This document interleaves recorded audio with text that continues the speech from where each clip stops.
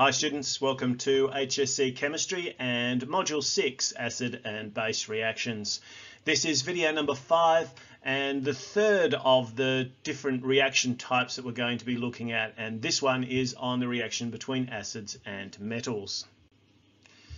This is not a neutralization reaction. Water is not a product of this particular reaction. In fact, this is better described as a displacement reaction where in most cases what you'll find is the metal a more active metal will be displacing hydrogen ions from the solution. And so we have uh, some slightly different products.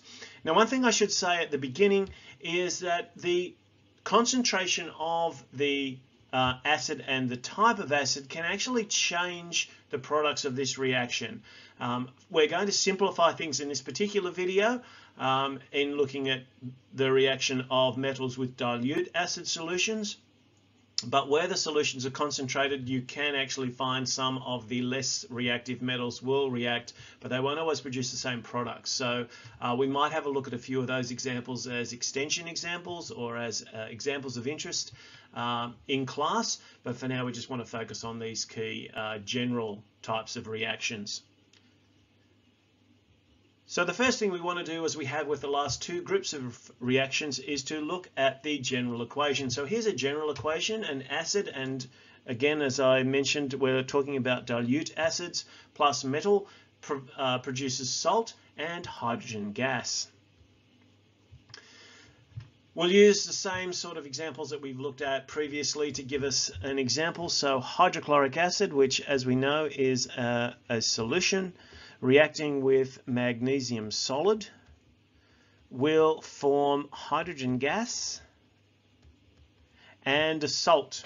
And again, the salt we can determine by looking at, well, firstly, the metal itself. The metal effectively is going to push the uh, cation out of the solution. So magnesium is going to be the first part of this salt, and the cation uh, is going to come from the um, the acid as it usually does. So this particular salt would be magnesium chloride. And using our NAG-SAGs, we know that group 7 are uh, group 7 elements form soluble salts with a couple of exceptions. Magnesium is not on the exception list, so therefore this will be a um, soluble salt, salt in solution. And so that brings us, of course, to the net ionic equations, which we've been looking at previously for some of our other examples. So in the net ionic equation, if we split up our acids as we have, and of course, I've done this without balancing the equation at the top. You notice that um, when the equation's not balanced, you'll end up with problems later on. So there's a small oversight. Hopefully you picked that up before I told you about it. Um, but balancing equations is obviously a very, very important part of writing um, of your chemistry.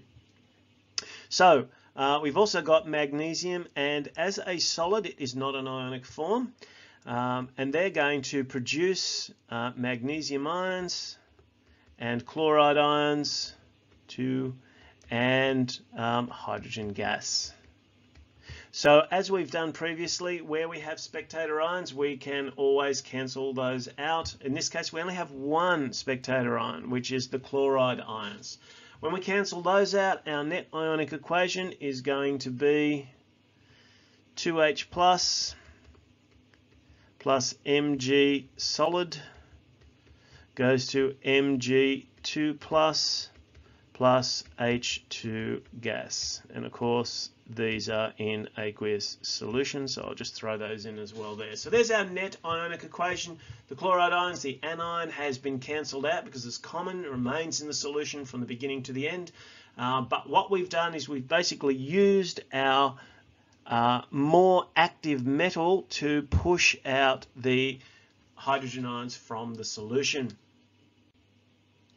Just to have a quick look at an example, sulfuric acid and zinc. So sulfuric acid has the formula H2SO4 and in solution with solid zinc we would have hydrogen gas as we know that's one of our products and the other product is the salt and so the salt is going to come from the metal and the anion so in this case it's going to be zinc sulfate. Now, the sulfates are NAG, SAG, so S for sulfates, and there are two groups of exceptions for the sulfates, uh, both our LMS and our Castrobare, and zinc isn't uh, either of those, so this is going to be an aqueous salt. That means we can again look at a net ionic equation. So we've got 2H plus, should just double check that it's balanced, and in this case it is, uh, SO42 minus, and Zn solid, forming H2 gas, Zn2 plus, and SO42 minus. As we saw before, the anion is the spectator ion in this case. So what we've got is a displacement reaction occurring as the zinc solid displaces the hydrogen ions from the solution, causing them to uh, be released as a gas and the zinc taking its place in the solution.